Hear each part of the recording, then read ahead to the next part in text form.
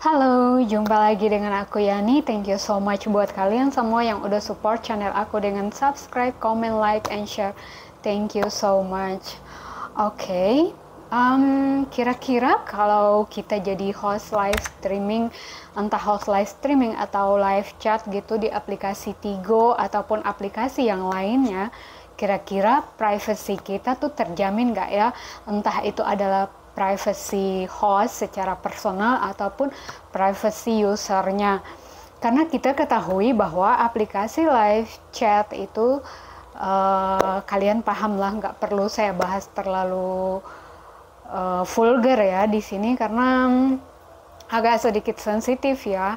Aku takutnya nanti gimana-gimana jadi ya secara garis besar aja.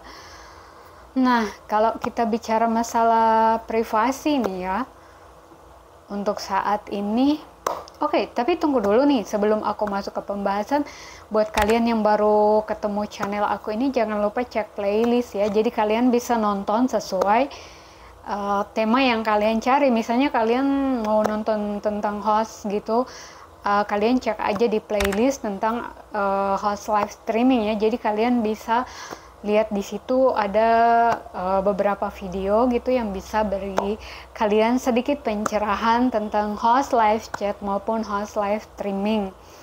Nah, kali ini aku khusus bahas tentang masalah privasi ya. Masalah privasi ini entah privasinya user maupun host gitu. Jadi, dengan berkembangnya teknologi zaman sekarang ini ya, Sebenarnya setiap aplikasi entah itu live host streaming maupun live host chat gitu, uh, terutama misalnya aku di Bigo ini sendiri ya, semua aplikasi itu sudah menerapkan uh, sistem perlindungan ya. Perlindungan tuh di sini di mana orang tidak bisa melakukan rekam layar gitu, dia nggak bisa ngerekod pada saat uh, live chat itu berlangsung gitu jangankan ngerekord gitu sekedar uh, screenshot aja gitu kayak dia SS screenshot kayak dia cuma ngambil foto layar doang tampilan doang aja itu tuh udah nggak bisa gitu. Karena ada sensor yang emang nggak bisa dilakukan.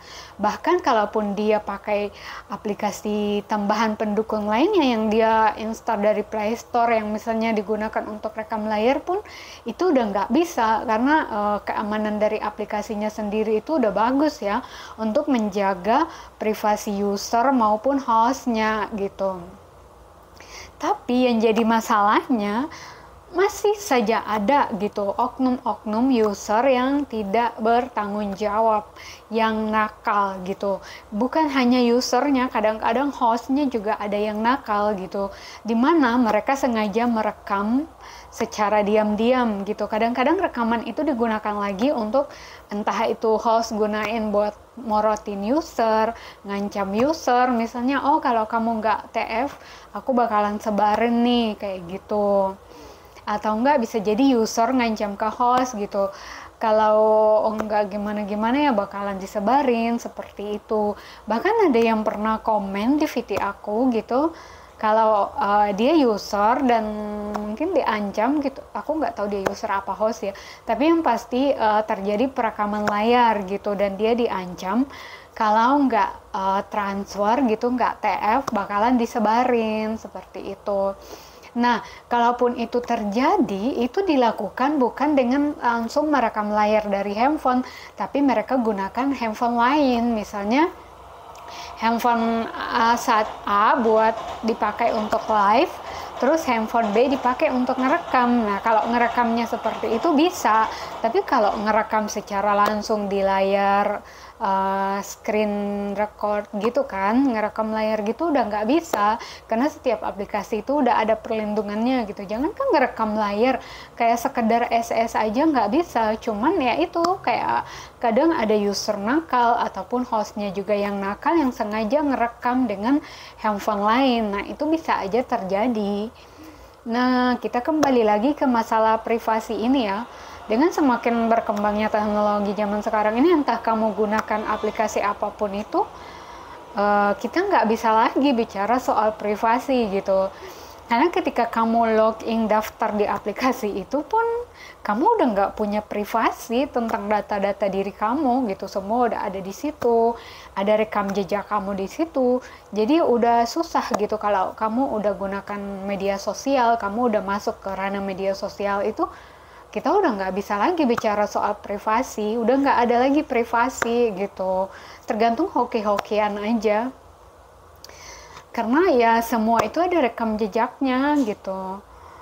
Jadi ya kalau kamu mau bicara soal privasi ya kecuali e, cara kamu gunain itu sendiri. Misalnya ketika kamu adalah user pada saat kamu melakukan live chat ya jangan ada wajah kamu di situ gitu jadi e, ini untuk user ya. Kalau kamu itu user ya usahain jangan ada e, kalau misalnya kamu itu takut nanti ketahuan sama keluarga kamu takut ketahuan sama pasangan kamu atau sebagainya usahain jangan ada wajah kamu gitu pada saat live chat itu berlangsung. Kalau kamu emang benar-benar mau jaga privasi kamu ya jadi ya jangan ada wajah kamu lakukan aja seperti itu. Tapi kalau ada wajah kamu di situ ya susah gitu ya kamu tuh nggak bisa memastikan bahwa kamu dipertemukan dengan user yang benar atau uh, kamu ketemu dengan host yang benar. Jadi untuk menjaga segala kemungkinan itu, misalnya kamu bicara soal privacy ya aku saranin kalau kamu adalah user, maka pastikan jangan sampai wajah kamu ada di situ gitu atau ya kalau misalnya kalian sudah terlanjur direkord sama si host yang misalnya manfaatin hal itu untuk meras kalian atau morotin kalian ya kalau misalnya kalian itu bukan orang yang penting banget maksudku kayak orang yang terkenal maksudnya kalian punya posisi-posisi atau jabatan yang bakalan sangat berpengaruh jika eh, hal-hal uh, yang seperti dia ancaman itu terjadi ya kalian perlu khawatir tapi kalau kalian itu bukan siapa-siapa dan biasa aja ya ya coba jelasin aja gitu ke pasangan kalian seperti apa dan gimana kalau udah terlanjur ya. Tapi aku sarankan ya kalian nggak usah ladenin kayak misalnya kalian sampai transferin uang segala macam karena itu nggak akan berhenti sampai di situ. Kalau udah sampai kalian ikutin kemauannya itu bakalan berlanjut gitu. Tidak memastikan bahwa ketika kalian TF itu bakalan selesai masalah itu bakalan selesai. Jadi ya soal privasi itu aja sih. Karena secara nggak langsung ketika kalian gunain medsos kalian udah masuk ke aplikasi-aplikasi seperti itu ya udah nggak ada lagi yang namanya privacy ya untuk di media sosial itu udah nggak ada lagi yang namanya privacy otomatis data kalian tuh sudah ada di mana-mana. Ini baru data.